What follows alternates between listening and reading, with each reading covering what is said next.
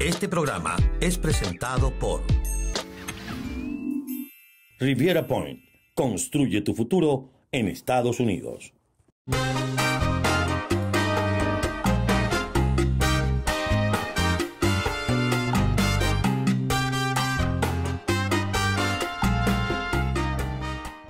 Nuestro próximo invitado en esta parte del programa es Axel. Axel Capriles es un psicólogo social.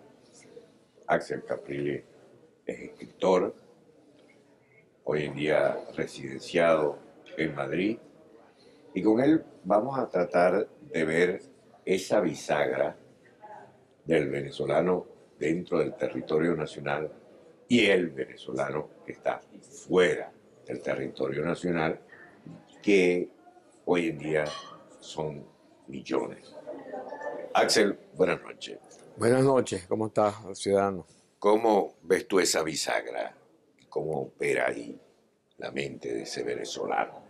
Bueno, es una experiencia que por primera vez en la historia del venezolano eh, la tiene que afrontar y, y está en pre- pleno proceso de, de- de- de- está, está asumiendo una posición que jamás en su vida pensó, que es el venezolano emigrante y la división de la familia venezolana.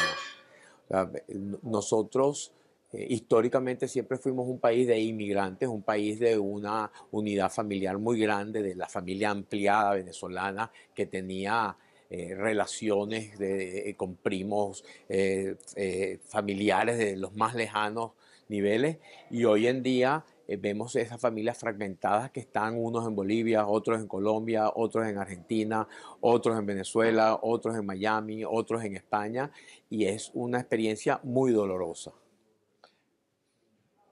¿Se pierde algo? ¿Se gana algo? ¿Cómo, cómo es esa perder y ganar en estos casos? Bueno, hay un, un aprendizaje que yo creo que es muy importante, pero sobre todo hay una sensación de pérdida. Fíjate, hace, hace como dos semanas estuvo aquí Laureano Márquez para la presentación de un libro. Y él terminaba su libro con una frase de Rómulo Gallegos en que mencionaba que los venezolanos eh, eh, eh, es, una, es una gente buena que espera. Y casualmente eso coincidía con un pequeño artículo que había escrito por un libro en la Católica que tenía un epígrafo de una frase de Mariano Picón Salas que decía los venezolanos estaban esperando. Entonces yo arranqué la, la presentación del libro hablando de esa coincidencia del venezolano en una espera y que esa espera significa que todos los venezolanos estamos llevando una vida provisional, que en los venezolanos hay un sentimiento dominante de que la vida que se está llevando no es Es como de algo temporal, Temporal. algo por el- los momentos. por el algo- momento de que no estás llevando tu verdadera vida, que no, no es una vida que tú la sientes arraigada, que la sientes realmente conectada con cosas importantes o con sentidos importantes, y es una vida que está simplemente esperando que algo más importante va a pasar más allá. Bueno, esa intervención tuvo un efecto emocional interesante en todo el grupo, que era bastante la, la gente que fue a la presentación del libro de Laureano. Eh, y habían eh, varias personas, varias mujeres, por, sobre todo llorando. O sea, mo- movió mucho porque la mayoría de las personas se sintió que esa espera, esa vida provisional, ya era una vida que tenía 20 años. O sea, ya no era provisional. De alguna forma sentían que su vida privada, su vida particular, se les había ido en medio de un proceso histórico que había dejado de ser provisional para haberles afectado gran parte de sus proyectos vitales, de sus proyectos creativos, de todas aquellas cosas con las que ellos hubieran querido eh, hacer y desarrollar a lo largo de su vida.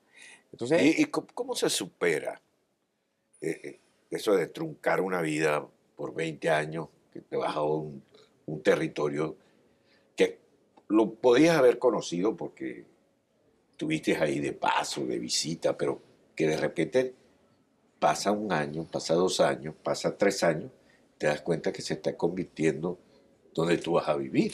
Y muchas veces es un desplazamiento geográfico, pero no, no, no, un desplazamiento psíquico. O sea, la gente está afuera, pero psicológicamente está en Venezuela. O sea, psicológicamente, tú estás aquí, pero psicológicamente estás pegado todo el tiempo al Twitter, al Facebook, a, las noticias, a la televisión, viendo qué es lo que está pasando allá.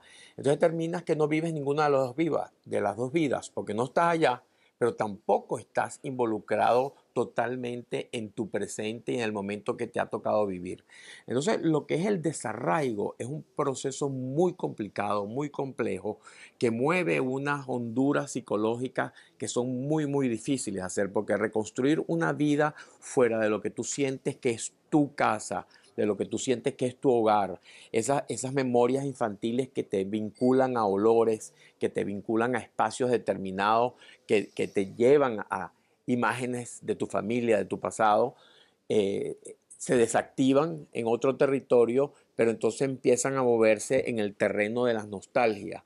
Y, y, esas son emociones que no te llevan a vivir un presente. Y el que está afuera tiene que asumir su presente, tiene que saber que su vida es la que está viviendo en este momento para poder realmente construirse a sí mismo y seguir su propio proceso de individuación que fue castrado por un proceso colectivo.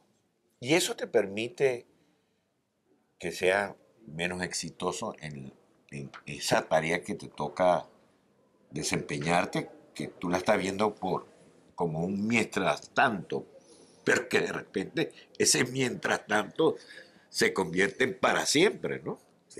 No, no o sea, te hace el, problema psicológico, te lo profundiza. Sin embargo, desde el punto de vista práctico, el venezolano se ha mostrado sumamente eficiente. Aquí en España tenemos muchísimos casos de éxito en, el comercio, en la comida, en, en, lo inmobiliario de venezolanos, porque el venezolano llega con una actitud de supervivencia, sabe que tiene que luchar para vivir y realmente se están fajando de una manera que no hace la persona nativa que está acostumbrada, que es su casa, que se siente cómodo en su sofá. El Eso lo, hace más, lo hace más agresivo, lo hace más... Lo hace mucho más eh, agresivo en el término positivo, agresivo en el término de que busca hacer las cosas, busca solucionar. ¿Y cómo eh, reacciona?